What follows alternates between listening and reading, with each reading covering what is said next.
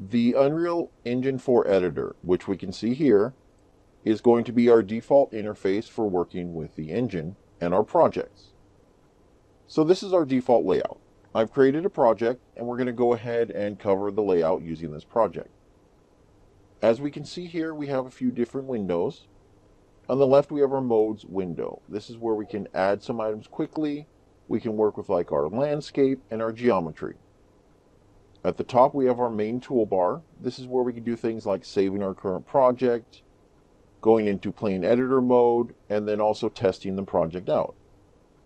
In the middle, we have our viewport. This is our main viewport into our map so we can see what we're working with. At the bottom, we have our content browser. Basically, think of this as our file explorer for our assets inside of our project. Top right, we have our world outliner. This is an overview of all the individual items we have inside of this level. And then at the bottom, we have our details panel.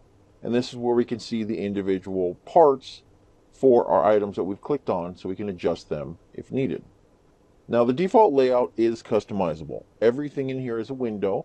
We can move a window by clicking on the tab and dragging it and dropping it wherever we want it. We can resize windows by clicking on the dividers between windows and moving them to where we want them. We can hide the tab.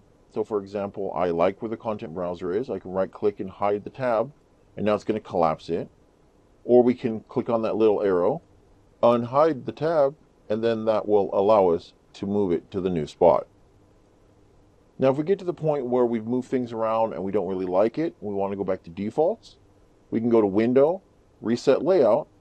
After it saves, it's going to go ahead and reset the project and put our layout back to the defaults. Now there are a few hidden things that we have access to that are helpful if needed.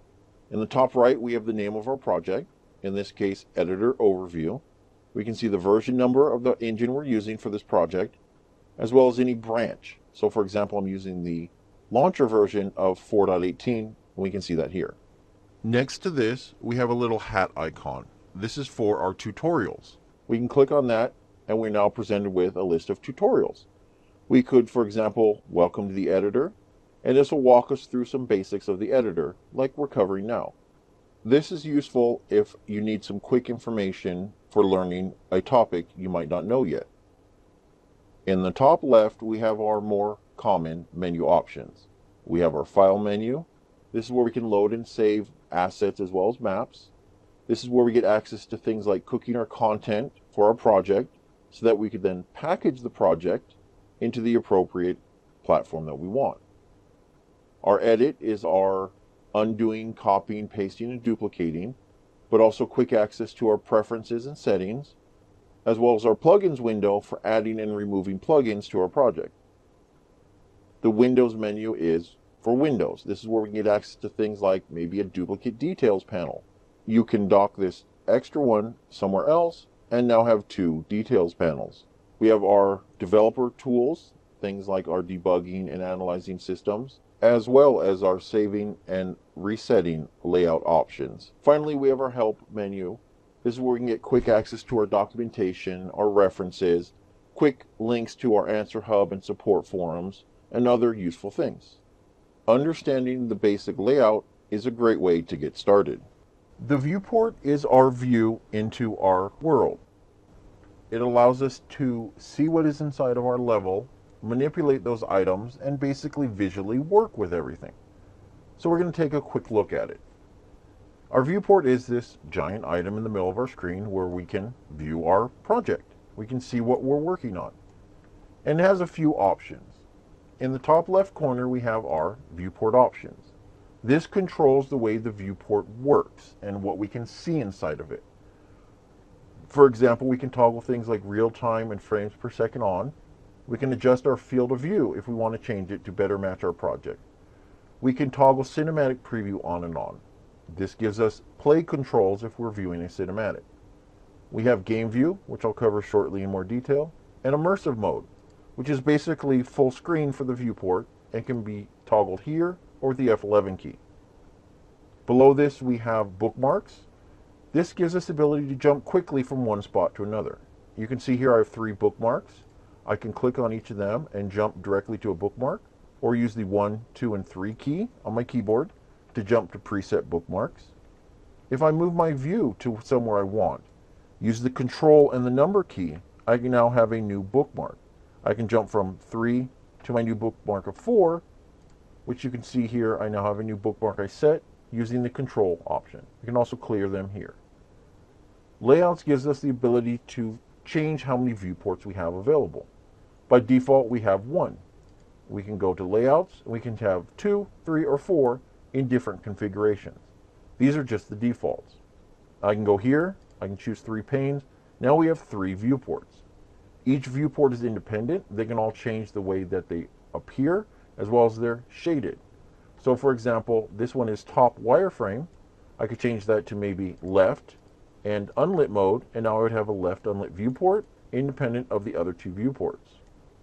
I'm going to go and reset these back to default. Now the options next to this are the way our viewports look and the way they are shaded, and also visualization options. So by default we have our perspective view, but we could change this to any of the orthographic views by using the shortcuts or by clicking the options. And then we have our view mode. By default we're going to have lit, we can change this to unlit, or we can change this to wireframe, or any of the other modes that allow us to better visualize our options. And all these details are covered in the documentation. Lastly, we have show. This changes the way the editor shows different parts of your project. And this is for the editor only. So for example, maybe I don't want to see the grid. The grid is this item over here that we use for snapping and various other placement. If I don't want to see it anymore, I can go to Show Grid, and now the grid will disappear. I can go back to Show Grid, and now I can view it. Now, by default, we're in the editor mode. This is where we can see things like our icons for our actors. We have our game view. It's the G button, or clicking here, and now you'll notice our icons disappear. The game view tries to give you a more game view or project view looking view. It's very similar to if you were to preview it in the editor or standalone mode. It's a quick way of visualizing what it might look like when you run the project. They are separate views. Editor and game view are separate, and the show options are independent. Let me go back to this view. I'm going to grab this material and make my walls glow. Now, if I'm working in here, I might start to have a problem because now I have this overwhelming bloom, and it's going to make my level design a little difficult. So I might want to go into show, post-processing bloom, and now it's a little better. Now I don't have the bloom effect, I can work in my editor. But now I want to preview what it looks like. Well, I can go into play, and it's going to show me what it looks like. Or I could go into play in standalone, and it's going to compile a few things and show me what it looks like. But maybe I want to see it quicker. Well, I'll hit my G key, and now I can see my bloom is re-enabled. I've disabled game view, I'm in editor view, show, post-processing, bloom is unchecked. I will enable game view. I will go to show, post-processing, and now Bloom is checked. These settings are independent of each other and they are separate for those views only. So keep that in mind. You could have both of them not show the bloom, and maybe you just simply don't want the grid showing when you're in game view, but it's fine, we're in editor. It's your choice, it's your options. The upper right controls the way we work with the items inside of our view. If I click on an item, we'll click on this cube for example, we get our manipulator widget. And by default it's going to look like this, and it's going to allow us to move or translate this object. Up here in the top right, we are showing we can select and translate this object, or we can use the W key as a shortcut. Next to that is rotate, or the E key, and scale, or the R key. So we can do W, E, and R to change through our tools, or the space bar to toggle to the next one. Once we have one we want, we can click on one of the manipulators here. Z is vertical, Y is going to be horizontal, usually left and right, and X is going to usually be forward and backwards, or the red one. We can click on them and move the item as such.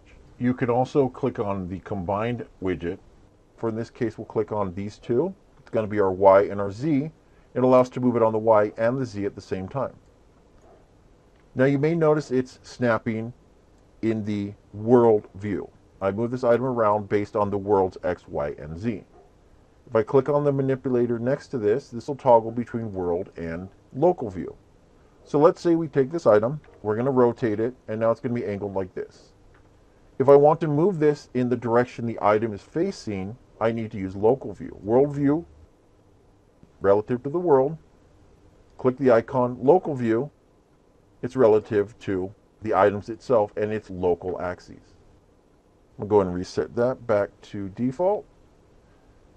Next to this, we have our snapping options. We have how the item snaps when we translate, how the item snaps when we rotate, and how the item snaps when we move it. By default, it's going to be set to grid snapping. Surface snapping is an option you can enable here. Grid snapping means the item will snap to the grid that we can see here. Now I have a cube. We'll go ahead and we'll look at our cube here and we can see that it is, it's kind of off. It's not really snapped to this grid. If we were to move it, it's going to look weird. Well, my snapping set to 100 and my grid, as you can see, is set to 100. But my X and the Y aren't multiples of 100. It's kind of off. Let me change my snapping to something like 10. Now my grid will get smaller, and now you can see it moves in increments of 10. Maybe set to increments of 5, and the grid will adjust accordingly to whatever you've set it up as. And these are adjustable inside of the editor preferences. This is for toggling on and off the translate snapping. So you can see now it will not snap. We have the same options here for our rotational snapping and degrees and our scaling snapping and the units for scale snap.